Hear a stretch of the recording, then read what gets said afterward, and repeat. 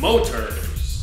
大体のレーシングドライバーよりもしかしたら俺の方がグランツーリスモなら早いかもしれない。どうもモーターズのヤマトです。モーターズの T です。今日はですね、えー、ヤマトの実験室コーナはい。ー第1弾ということでですね。みんながちょっと使ってみたかったアイテムであったりとかガソリンボディにかけたら塗装が落ちるのかとかねちょっとこう過激なのから 実際の検証までやっていこうというですねえー企画になっております。今日はなんとうん。休日なのに撮影しております。やった休日出勤だ。よおいいぞいいぞ。そんな休日出勤で検証したいのがこちら。ババーン。エルフフォーミュラーチューンと言いましてですね。超加速。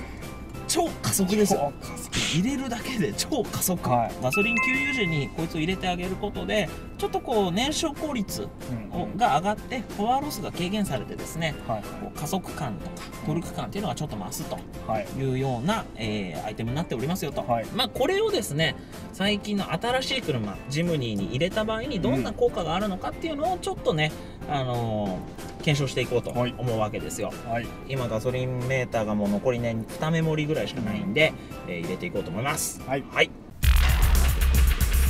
エルフフォーミュラーチューン使い方なんですけれども、エンジンを停止させ、ボトルキャップを外し、付属のノズルをしっかり取り付けてください。うん注入直前に車体に触れるなどして体の静電気を除去し、本製品をガソリンタンクに入れてくださいと。当然ガソリン取り扱うんでね、静電気出ると大騒ぎになりますからね。大変だもう大炎上ですよ。うん動画と車が大炎上。ガソリン40から60リッターに対して本製品1本、えー過去200ミリが目安ですと。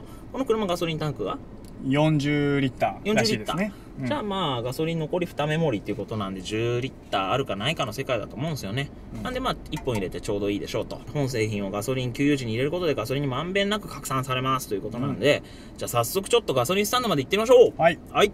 事件だ。事件だ。開けられない。握力がない。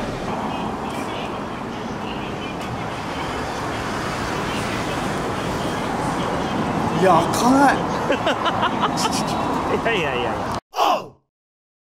開きました。やっと開いた。これにねこいつをつけていきますよと。はい。あーすごい添加剤の匂いしますね。見えますよ。はい。もりもりガソリンが入ってますよと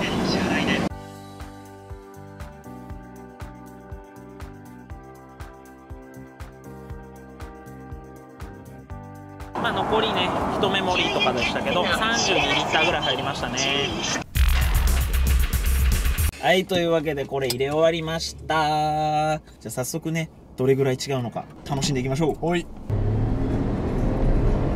なんかちょっと老け軽いんじゃない？なんか軽い感じしますよ。うんうん。するするもしかして体感できちゃってる？実際さ今まはい。あ60キロぐらいで流れてるけどさ、はいはい。中間加速的なとこはどうよ？なんか軽い気はしますね。ああまあでもそこまでこううん。劇的には感じていない、ですね。横でね僕もね運転を見ていて、は明らかにこうレスポンスが軽くなってるようにはうんうん。感じるんだよね。サーキットとかでもいいよみたいなことこれパッケージ書いてありますけど、うん。実際はね街乗りユーザーの方が多いでしょうからこういうシチュエーションが楽になるんだったら随分ねいいそうですね。ですよね。さあ今青ですね。はい。信号になりました。行ってみてください。さっきよりアクセル踏んでる感じじゃないのこれ。え全然踏んでないですよ。マジで、はい全然違くない？全然違いますね。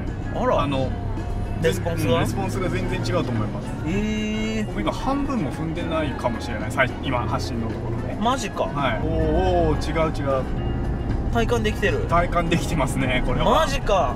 おすごいかもしれない。実験室一発目にして ガソリン添加剤はおもしかしたらありという結論かなこれ。そうですね。おおありかもしれない。あもうこれね全然違うわ。あ本当に、うん。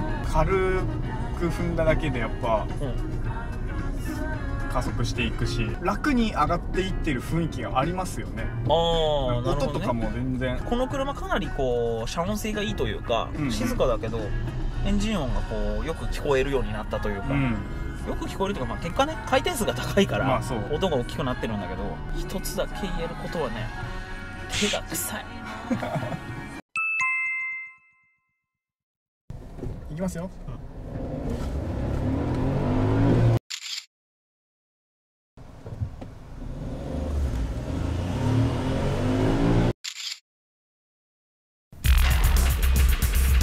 日はですねヤマトの実験室。はい。えーこちらのエルフフォーミュラチューンを使っていったわけですけれども実際 T さんからするとうん。効果は明らかにあったと、ありました。なんか派手にこうパワーが変わってるような感覚はあんまないかな、うんうん。なそれはないですね。でもその明らかにそのレスポンスの差とかっていうのを感じれるぐらいには違いがあったということですね。はい。まあ10点満点中8点ぐらいはやっぱり上げたいですね。すごい。残りの2点はですね T さんが僕に運転させてくれなかったので、えー細かく体感してないからということにしておきましょう。税込み1700円ぐらいで買えるかな。なのでぜひモーターズチャンネルを見てる人も、えー試してみてください。ヤマトの実験室第1弾エルフフォーミュラー中でした。また。